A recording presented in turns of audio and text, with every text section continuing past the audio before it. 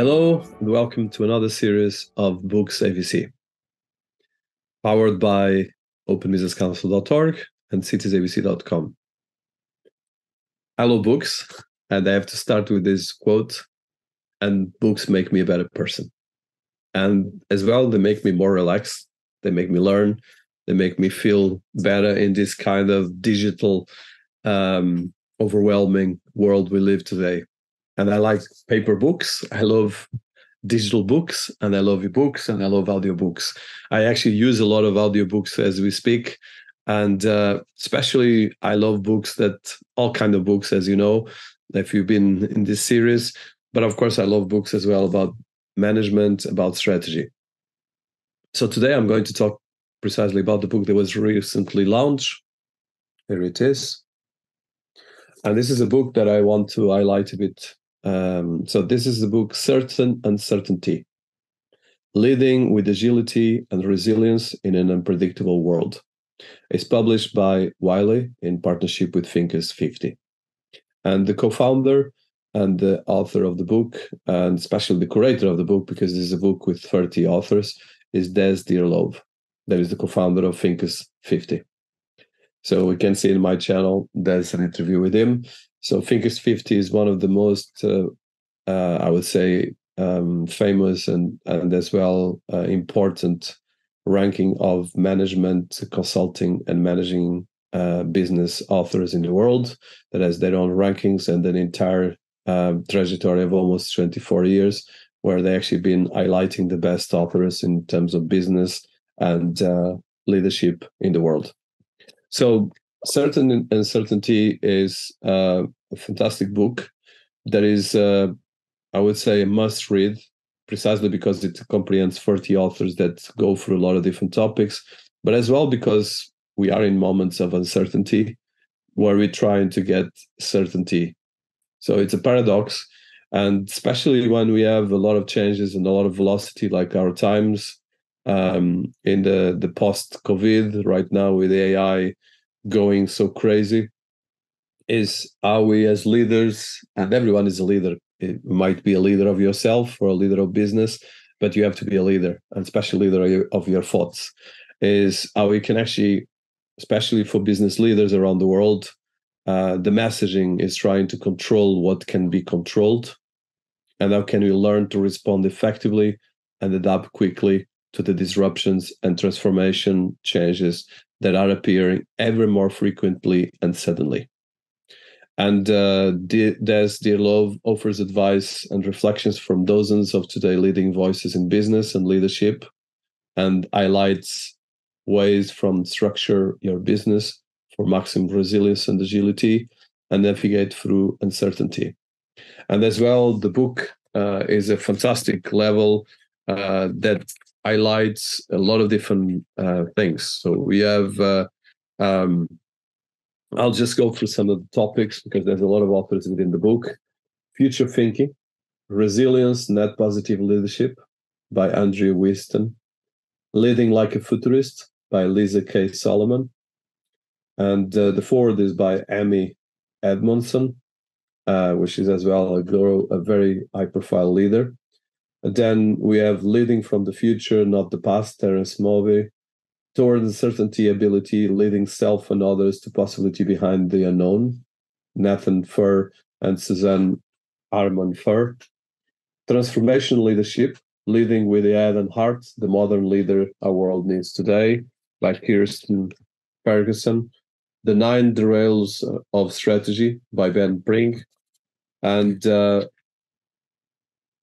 Radical Empathy, How to Craft Effective Communications About Chance, Tamsen Webster, Leading Sustainability Transitions by Matt Kitson, Gitsham, and Navigating Paradoxes, when Wendy K. Smith and Marianne W. Lewis, The Why, What, and How of Leadership by Paul R. Carlile. Then the third section of the book is about organizational culture, developing a curious culture at work. Diane Hamilton, Is Your Company Alive? Mehran Gul, Staying in the Show in the Extraordinary Times. Mehran Gul, Staying in the Known in Extraordinary Times, Magia uh, I'm sorry, and uh, Is Your Company Alive by Mehran Gul. I mentioned the names wrong. And Stop Quite Quitting Your Life by Ori Brafman and Rom Brafman. And uh, Policy The Path to Prevent Burnout by Jennifer Moss. Then the fourth part is about Voices of Difference by starts by Voices of Difference at Work by Megan Ritz. Want more female leaders, develop leadership when it matters most. Julie Carrier. Servant Leadership, Cooperative Advance, and Social Sustainability, Leon C. Prieto and Simone T.A. Phillips, and Leaders Talk Less and Speak Last, Modupe Taylor Pearce. Then the point, the, the section five, talent magnets, deciding whom to promote, beware of div depth, justice at work. And the first one is by Gorick Nengi, second, Justice at Work by David Liddle, and personal branding in a creator economy, K.D. Wright, The Need for High Achievers in the Area of Uncertainty by Ruth Gotian. And then the, the fifth and last chapter um, or section, Relationships at Work, that is Curve Benders, Quality versus Quantity of Strategic Relationships in the Future of Work by David Nour. Then Navigating Ambivalence in Our Professional Relationships, Amy Gallo. And last, Our Leaders Can Help Employees Face Uncertainty by Ben Whitter. I really want to go for all the authors because all of these authors are global professors in top business universities and leaders in big organizations, corporations that work with some of the top Fortune 500 different organizations. But what I love about this book is that it's real. There's a lot of uh, um, knowledge, wisdom, but as well a lot of practical things that everyone can look um, I'll just read a bit of a quote from the introduction by Amy C. Edmondson, that is as well a very high profile personality in the industry, um, but as well one of the top um, thought leaders in business management worldwide. It's natural to be anxious about the challenge that lie ahead, but no leader has all the answers. So long as leaders actively invite others into so help solve the problems their organizations face, a path forwards will be found. Navigating uncertainty requires input from diverse sources. Making this happen starts with leaders who are open minded and transparent, prepared to acknowledge that they don't have all the answers, and willing to listen to and work with others. Even when we fully recognize the intellectual merits of these statements, it can be emotionally challenging to put them into practice. Yet, we still need to act moving ahead with purpose rather than being paralyzed by indecision. The key is to remain open to changing circumstances and willing to pivot at short notice, motivated by new ideas and possibilities. This is key, and um, I want to as well read a bit of uh, Des' uh, introduction. That is very important for what is happening right now to be able to respond better to unforeseen events, we need to build resilience and agility into our lives, including the way business operates. Change is now a constant. Disruption is to be expected and requires an adaptable response. We can't go back, we must go forward. So, what to do the next generation of leaders need to know about living with certain uncertainty. That's the question we put to the select group of business thinkers who make up the Thinkers 50 Radar with community. This book is their response, a curated collection of short essays, addresses to the leaders of the present and future, to help them not only to survive, but also to thrive in these uncertain times.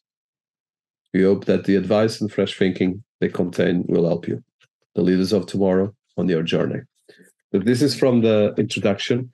As you see, this is some of the top thinkers worldwide. I want to just because uh, I love about the future. And the end of the day, if you are in business, you need to think pre- present and future, and not be stuck on the past. So I'll just go for the chapter about the future, which I think it's really important for people listening to us, because uh, in the end of the day, is how we look at future thinking. So I'm going to read a bit of an excerpt from the chapter Towards Uncertainty Ability, Leading Self and Others to Possibility Behind the Unknown. So this is actually something that I really like to understand both as a leader and as well as a leader of my own mind, how we can work on this. So leading self and others to possibility behind the unknown, Nathan Furr and Suzanne Harmon Furr. So I'm going to be reading uh, about uh, the last part of this chapter.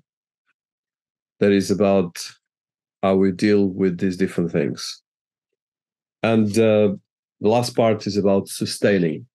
And the, the chapter is divided in different areas, but I will work on this. And certain certainty almost always unfolds differently than we thought. And sometimes it gets worse before it gets better.